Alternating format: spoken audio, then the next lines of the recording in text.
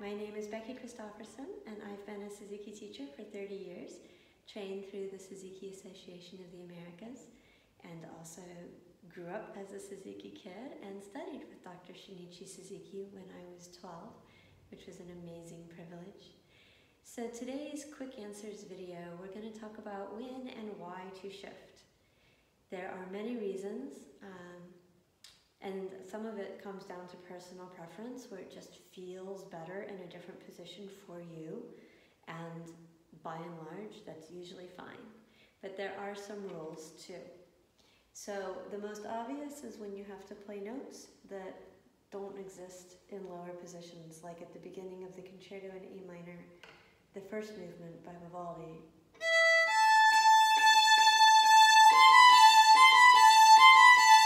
you would just start in third position rather than make a shift. Because that's disruptive.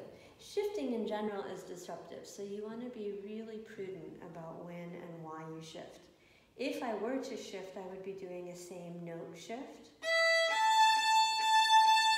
Playing three with three on A and then shifting to one on A.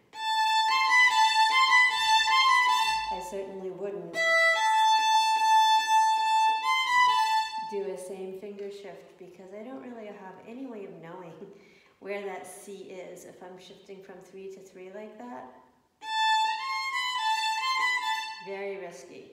At least this way. That one is a much more secure shift and then I know where the C is. You always want to know where your one is when you're shifting. And a three to three shift like that would be very difficult to keep track of one. Uh, another reason might be that you want to avoid um, an extended four. So even back in Gavotte in book two, in the scale, you could play the C as an extended four, or you could shift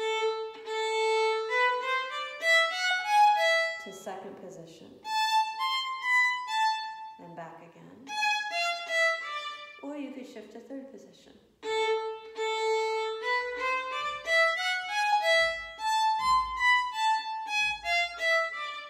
So that's an example of personal preference. If you have small hands, you might prefer to shift. I prefer to teach a shift there just because it's the first time we get to shift in the Suzuki book. So I like to use that piece to introduce shifting to second position. And then you might need to shift simply because you don't want the brightness of another string. So not a Suzuki song, but Melody by Tchaikovsky. I could start on the E string, but that's awkward because I'm starting on a bright string and I'm giving myself a string crossing right away to a fourth finger. And if I play it all in third position,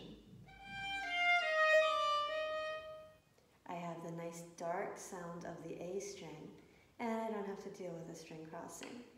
And Tchaikovsky being romantic, I can shift here and with a little glissando, and then that makes it more stylistic.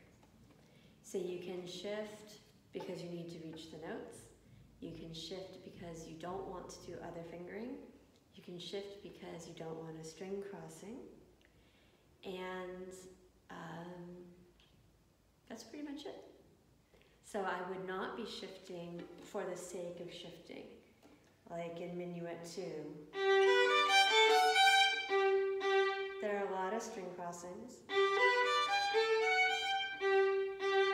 I'm not really sure that that fingering is much simpler. Oh, and that reminds me, the other one is that in the Baroque era in general, there was not a lot of shifting going on. Remember that the violin was different and they did not explore the upper regions of the violin the way later composers did. And they liked the open strings, the open E. We kind of tend to avoid the open E now because it's so bright. But the Baroque violin didn't have that problem. So uh, you'll get lots of type string crossings with that nice bright E string, and in Baroque music that's appropriate and desirable. So I hope that helps. Happy practicing.